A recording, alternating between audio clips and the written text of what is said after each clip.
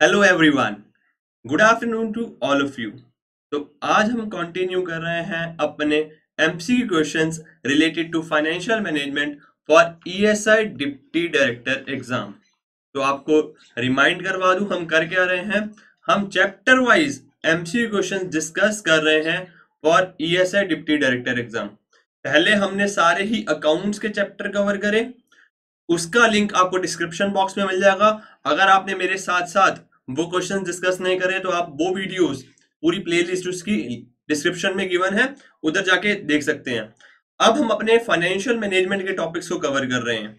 Last time हमने capital budgeting की बात करी थी, और आज के सेशन में हम एमसीक्यू क्वेश्चंस डिस्कस करेंगे related to cost of capital बहुत ही इजी चैप्टर है। इससे रिलेटेड फाइव क्वेश्चंस हम आज की क्लास में डिस्कस करेंगे। ठीक है? अगर आप फ़र्स्ट टाइम हमारे चैनल पे आए हैं तो जल्दी से सब्सक्राइब बटन में दबा दीजिए और बेल आइकन पे क्लिक कर दीजिए, ताकि जब भी हम ई एस डिप्टी डायरेक्टर से रिलेटेड वीडियोस लेके हैं तो उसकी नोटिफिकेशन आपके पास चली जाए। और अगर आपके कोई डाउट्स हैं तो वो आप हमसे, हमारे Telegram channel E S deputy director Anuj Jindal में हमसे पूछ सकते हैं और किसी भी टॉपिक से रिलेटेड सिर्फ़ एफएम या अकाउंट से रिलेटेड नहीं, किसी से भी टॉपिक से रिलेटेड डाउट होगा, वहाँ पे आपको फैकल्टी रिप्लाई करेगी। ठीक है? और अगर आप कोर्स परचेज करना चाहते हैं और अपनी परफॉर्मेंस को बूस्ट करना चाहते हैं तो जल्दी से अनुजिंदल डॉट इन पे जाइए, वहाँ पे ईएसआई के सेक्शन में जाके इनरोल कर लीजिए। इस पूरे कोर्स में सारे ही डिटेल में वीडियोस और टॉपिक्स डिस्कस हैं। तो चले अपने क्वेश्चंस की ओर। तो आज का पहला क्वेश्चन है given risk free rate of return given है मार्केट रिटर्न गिवन है कॉस्ट ऑफ़ इक्विटी गिवन है, हमें वैल्यू ऑफ़ बीटा निकालनी है। बीटा की वैल्यू की निकालनी है, हमें तीन इंफॉर्मेशन गिवन है क्वेश्चन में। तो हमें निकालना क्या है? बीटा निकालना है। क्वेश्चन स्टार्ट करने से पहले अपने पास एक पेपर पेन रख लेना और जैसे ही हम फाइव क्वेश्चन डिस्कस करेंगे, आपको चेक करना है, क्या आपके इस टॉपिक से सारे क्वेश्चन सही होते हैं या फिर नहीं? अगर मैक्सिमम क्वेश्चन गलत हो रहे हैं तो आपको इस चैप्टर को दोबारा रिविजिट करना है, दोबारा रिवाइज करना है। चैप्टर वाइज करने का मेन मकसद मेरा यही था कि आपको पता चल सके कि आपके कौन कौन से चैप्टर अच्छे से प्रिपेयर हो चुके हैं और कौन से नहीं। चैप्टर वाइज करने से हो क्या क्या? कि हमें पता चल जाएगा कि भाई इस चैप्टर में मैं अटक रहा हूँ। तो उसको हम रिवाइज कर लेंगे रिविजिट कर लेंगे। ठीक है? अब पाँच क्वेश्चंस आपको अटेम्प्ट करने हैं पेपर लेके बैठे हैं और चेक करना है कि आपके कितने सही होते हैं और वो कमेंट बॉक्स में मेंशन करना है कि भाई मेरे तीन सही हुए, चार सही हुए। चले तो क्वेश्चन क्या है? हमें वैल्यू ऑफ़ बीटा निकालना है। तो भाई जिस जिसने पढ़ा होगा, उसे छूटते ही क्वेश्चन में याद आ गया होगा, ये किससे रिलेटेड है? ये रिलेटेड है कॉस्ट ऑफ़ इक्विटी से। किससे रिलेटेड है? कॉस्ट ऑफ़ इक्विटी से। आपको रिमाइंड करवाने के लिए याद दिलवा दूँ कॉस्ट ऑफ़ इक्विटी के हमारे पास चार फॉर्मूले थे। चार मेथड से डिफरेंट डिफरेंट कौन कौन से? Dividend price approach earning price approach growth approach और सीएपीएम डिविडेंड प्राइस अप्रोच में हम कॉस्ट ऑफ़ इक्विटी कैसे कैलकुलेट करते थे? Dividend of the next year upon में जो प्राइस है करंट ईयर का और हमारा अर्निंग प्राइस अप्रोच में हम कॉस्ट ऑफ़ इक्विटी कैसे कैलकुलेट करते थे? अर्निंग अपॉन में प्राइस सिमिलरली ग्रोथ अप्रोच में इक्विटी कैसे मतलब कॉस्ट ऑफ़ इक्विटी कैसे कैलकुलेट करते थे? डिविडेंड अपॉन में प्राइस प्लस ग्रोथ अच्छा ये मॉडल किसका गिवन है? गॉर्डन का। याद हो तो गॉर्डन ग्रोथ मॉडल और लास्ट हमारा था CAPM capital asset pricing model जिसमें हम कॉस्ट ऑफ़ इक्विटी कैसे कैलकुलेट करते थे? रिटर्न जो कि रिस्क फ्री है plus beta plus market premium तो हमारा जो क्वेश्चन है, वो है सीएपीएम से। क्या क्वेश्चन है? उन्होंने तीन वैल्यूज़ दे रखी हैं और हमें बीटा निकालने के लिए बोला गया। तो क्या कोई फॉर्मूला था? जो हमारी कॉस्ट ऑफ़ इक्विटी होगी, वो किसके बराबर होगी?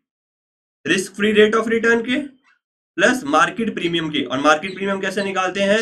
बीटा इंटू क्या? मार्केट का return minus risk free rate of return तो risk free rate of return कितना दे रखा है? फाइव परसेंट अच्छा कॉस्ट ऑफ़ इक्विटी कितनी दे रखी है हमारे पास? फिफ्टीन परसेंट प्लस बीटा की वैल्यू हमें निकालनी है।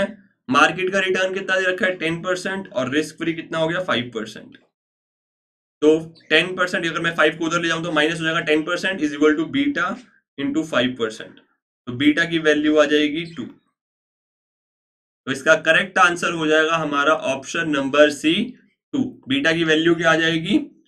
टू। अच्छा बीटा होता क्या है? रिकॉल करो जल्दी से, बीटा होता क्या है? बीटा होता है कि हमारा जो स्टॉक है, वो मार्केट से कितना फ्लक्चुएट कर रहा है? वॉलेटाइल है। ठीक है ना? जो कि हमारा रिस्क बताता है। बीटा हमारा क्या बताता है? रिस्क बताता है उस सिक्योरिटी का। ठीक है? और ये वाला मेथड सीएपीएम हमने, याद हो तो सीएपीएम हमने रिस्क एंड रिटर्न चैप्टर में भी पढ़ा था। कॉस्ट ऑफ़ कैपिटल के साथ साथ रिस्क एंड रिटर्न में भी पढ़ा था।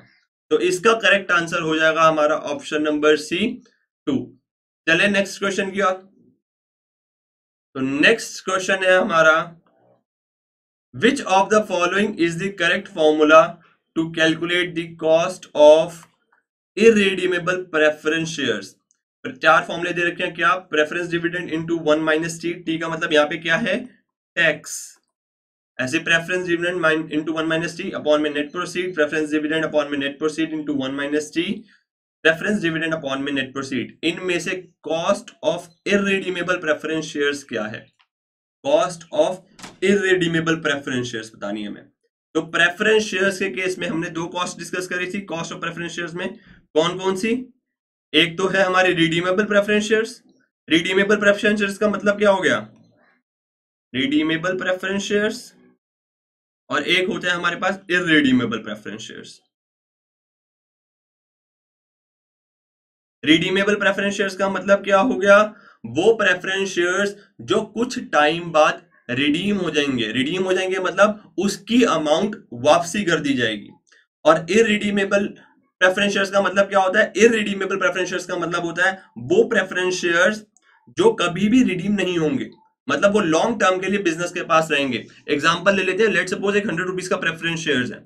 अब जिस इन्वेस्टर ने ये हंड्रेड रुपीज़ का प्रेफरेंस शेयर लिया होगा कंपनी से, अगर ये रिडीमेबल प्रेफरेंस शेयर है तो कुछ टाइम बाद कंपनी को ये हंड्रेड रुपीज़ उस इन्वेस्टर को रिटर्न करने पड़ेंगे। उस प्रेफरेंस शेयर होल्डर को रिटर्न करने पड़ेंगे।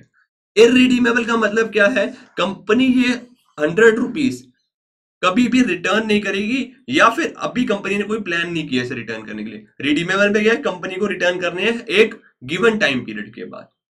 ठीक है? तो हमसे पूछा क्या गया है? इरिडीमेबल प्रेफरेंस शेयर्स है, उसका कॉस्ट कैसे निकालते हैं? तो उसका कॉस्ट का फॉर्मूला होता है हमारे पास प्रेफरेंस डिविडेंड अपॉन में नेट प्रोसीड्स क्या फॉर्मूला होता है? प्रेफरेंस डिविडेंड अपॉन में नेट प्रोसीड्स तो इसका हमारे पास करेक्ट आंसर क्या आ जाएगा? Option number D preference dividend divided by net proceeds चलो जल्दी से बता दो रिडीमेबल प्रेफरेंस शेयर्स जो होते हैं रिडीमेबल प्रेफरेंस शेयर्स उसका कॉस्ट कैसे निकालते हैं? तो cost of redeemable preference shares कैसे निकालते हैं? तो cost of redeemable preference shares कैसे निकलेगा हमारे पास?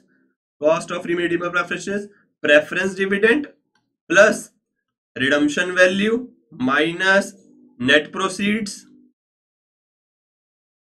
upon में अपॉन में हमारा आ जाएगा नंबर ऑफ़ ईयर्स मतलब जितने टाइम में वो रिडीम होना है, अपॉन में pref redemption value plus net proceeds upon में टू ये हमारा किसका फॉर्मूला है? ये फॉर्मूला है हमारा इरिडीमेबल रिडीमेबल प्रेफरेंस शेयर्स का।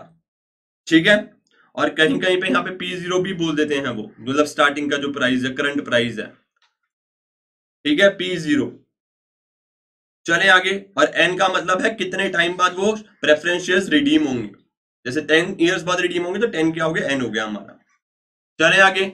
नेक्स्ट है हमारे पास question the cost of equity share capital is greater than cost of debt because option number A equity share carry a higher risk than debts the face value of equity share is lower than the face value of debentures in the most cases equity shares do not provide a fix dividend rate या फिर equity shares are not easily saleable equity shares easy से market में बेचे नहीं जा सकते। इनमें से किसके कारण कि जो हमारा कॉस्ट ऑफ़ इक्विटी होता है कॉस्ट ऑफ़ इक्विटी हमारा ज़्यादा होता है कॉस्ट ऑफ़ डेट के। किस रीजन की वजह से, किस रीजन की वजह से हमारा cost of equity is greater than the cost of debt क्या लिखा है? क्या equity shares are not easily saleable हमें भी पता है कि भाई सेकेंडरी मार्केट में स्टॉक एक्सचेंज में हम बहुत ही इजिली और डेली अपने शेयर्स को बेच सकते हैं। तो ये रीजन तो बिल्कुल भी नहीं है। फिर क्या लिखा equity shares do not provide a fix dividend rate लेकिन ये हायर होने का रीजन नहीं है कि भाई फिक्स डिविडेंड रेट नहीं मिलता। The face value of equity share is lower than the face value of debentures in the most cases ये ट्रू तो है बट ये रीजन नहीं है कि कॉस्ट ऑफ़ इक्विटी ज़्यादा होगी। जो मेजर रीजन है, जो हमें प्रोमिनेंट रीजन लग रहा है इधर, वो लग रहा है कि equity shares carry a higher risk than debt ऐसा क्यों है कि जो कॉस्ट ऑफ़ जो इक्विटी शेयर होल्डर है, उसके, उनका ज़्यादा रिस्क होता है?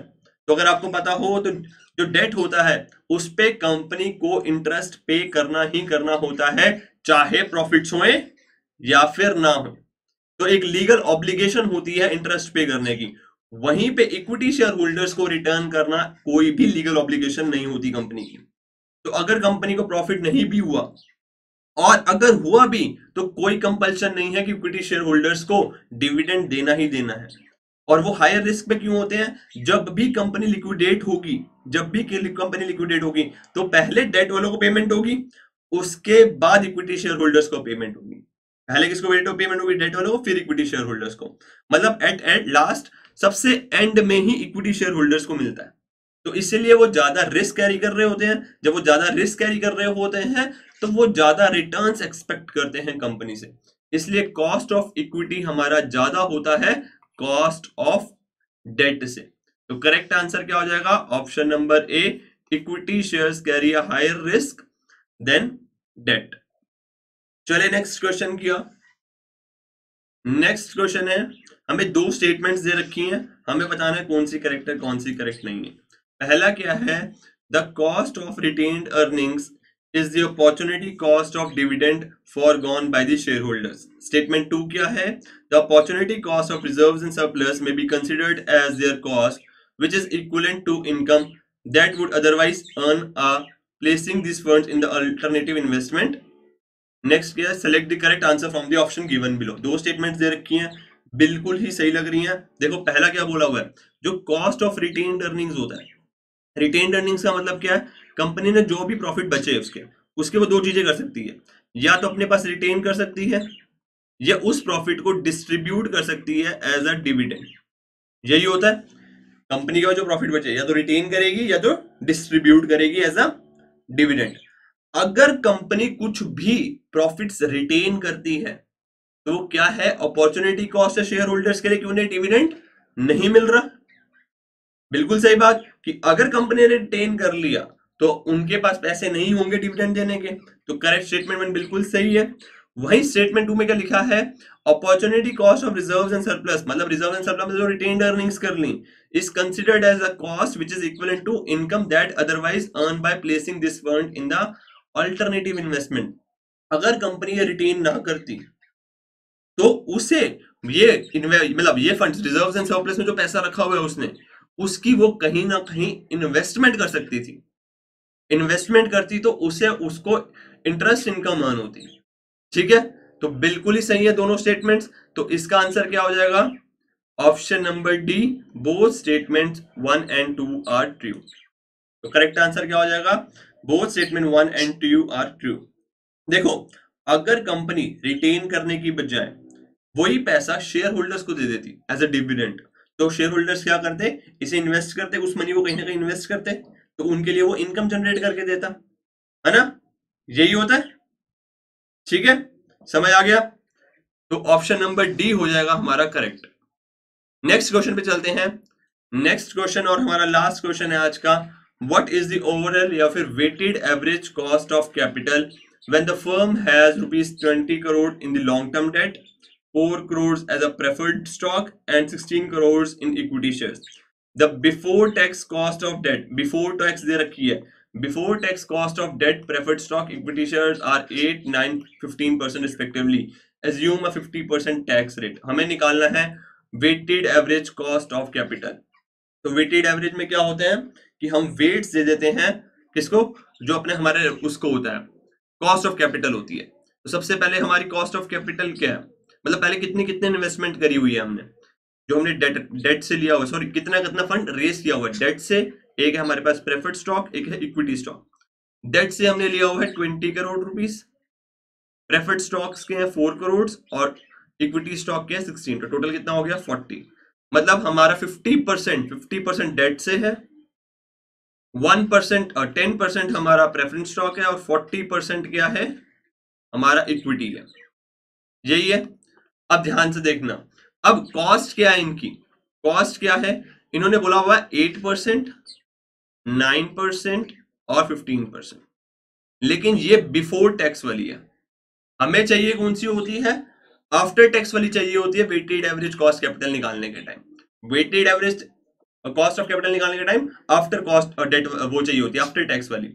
अब इन दोनों में तो हमें जो मिलता है ये कॉस्ट हमारी कैलकुलेट करी जाती है कॉस्ट ऑफ़ कैपिटल जो कैलकुलेट करी जाती है, उसमें टैक्स का कोई रोल नहीं होता। लेकिन डेट वाले में टैक्स का रूल होता है। तो इसको हम क्या करेंगे? आफ्टर टैक्स बना देंगे। तो एट परसेंट हमारा क्या है? बिफोर टैक्स तो आफ्टर टैक्स क्या हो जाएगा? एट परसेंट वन माइनस कितना? फिफ्टी परसेंट तो ज़ीरो पॉइंट फाइव मतलब पूरा फिफ्टी परसेंट डाले तो फोर परसेंट आ जाएगा ये। मतलब after tax cost of debt क्या हो जाएगा? Four percent. वहीं हमें प्रेफरेंस और इक्विटी थ्योरी को चेंज करने की ज़रूरत नहीं है, क्योंकि उसमें कोई टैक्स का रूल नहीं होता। अब हम वेटेड एवरेज निकाल लेंगे। तो वेटेड एवरेज क्या आ जाएगा? फोर परसेंट फिफ्टी मतलब फिफ्टी परसेंट का फोर परसेंट क्या हो जाएगा? ये हो जाएगा हमारे पास टू परसेंट। फिर हमारे पास nine percent of ten percent. तो zero point one into nine zero point nine percent. ऐसे फिफ्टीन परसेंट ऑफ़ फोर तो फोर इंटू थ्री ट्वेल्व तो ये आ जाएगा फोर्टी का फिफ्टीन परसेंट फिफ्टीन परसेंट हो जाएगा सिक्स सिक्स परसेंट मतलब four plus two six percent तो टोटल आ जाएगा ये एट पॉइंट नाइन परसेंट तो weighted average cost of capital क्या आ जाएगा हमारे पास? एट पॉइंट नाइन परसेंट तो करेक्ट आंसर क्या आ जाएगा इसका? Option number D eight point nine percent ठीक है? हो गए आज के क्वेश्चन अब हर बार की तरह एक क्वेश्चन जिसका आंसर आपको मुझे कमेंट बॉक्स में मेंशन करना है। क्या क्वेश्चन है? डैश में be defined as the cost of raising an additional rupee of capital क्या कहते हैं हम? Marginal cost of capital weighted cost weighted cost of capital extra cost of capital या simple average cost of capital cost of raising additional rupee of fund मतलब जो अगर हमें और फंड रेज करने हैं तो उस एक्स्ट्रा जो कॉस्ट है, उसे क्या कहते हैं? ठीक है?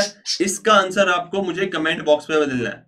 अब मिलेंगे नेक्स्ट सेशन में। याद रखना है, हर थर्सडे हर थर्सडे दो बजे हम ऐसे ही एमसीक्यूज डिस्कस करते हैं चैप्टर वाइज और चाहे ये वीडियो प्रीमियम हो रही है, आप मुझे कमेंट बॉक्स पे या लाइव चैट में मुझसे डाउट्स पूछ सकते हैं, या फिर टेलीग्राम ग्रुप में मुझसे डाउट पूछ सकते हैं। मैं प्रीमियम के टाइम पे अवेलेबल होता हूँ, आप इजिली लाइव चैट के ड्यूरिंग भी मुझसे डाउट्स पूछ सकते हैं। तो that's all for today bye bye take care see you soon